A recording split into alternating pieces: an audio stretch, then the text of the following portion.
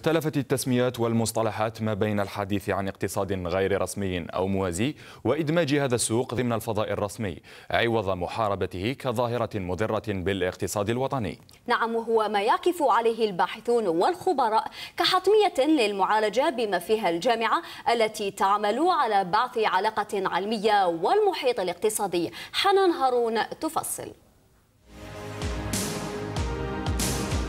الاقتصاد الغير رسمي أو الاقتصاد الموازي في الجزائر بين واقع الممارسة وحتمية المعالجة. هذه الظاهرة ذات الأبعاد الاقتصادية والاجتماعية يحاول الخبراء والباحثون تحليلها معالجتها حماية للاقتصاد الوطني. الاقتصاد غير رسمي هو واقع. واقع إنساني واقع معاملات اقتصادية واقع معاملات تجارية إلا أنه ما يحتاج يحتاج إلى المعالجة. تحتاج من الأكاديميين تحتاج من الباحثين أن يقفوا وقفة علمية أكاديمية حتى نعالج حتى نربط الجامعة بالمحيط الاقتصادي. الجامعة تساعد أصحاب القرار في بلورة النتائج حتى نعطي نتائج علمية موضوعية حيادية للمساهمة في البناء التنموي للمساهمة في مساعدة موارد الخزينة العمومية.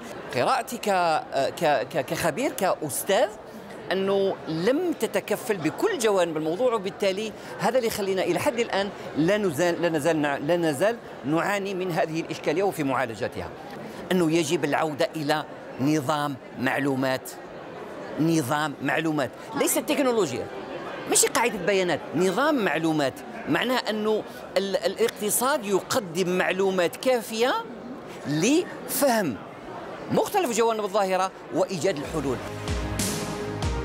ولعل بعث علاقة علمية بين الجامعة والمحيط الاختصاصي وتحسيس المحيط الجامعي بأهمية الموضوع من خلال آثاره على المعطيات الاقتصادية الكلية والجزئية. تراهن المديرية العامة للأمن الوطني على مواجهة هذه الإشكالية هذه الإشكالية بين الموجود ولكن ما هو منشود نحو الأفضل حتى نرقى إلى تكريس كل هذه القيم الاقتصادية المبنية على الحوكمة الاقتصادية المبنية على تحويل تلك الإشارات الضعيفة الخفية التي تظهر إلى قوى إلى قوى محركة في واقع الاقتصاد الجزائري بحول الله.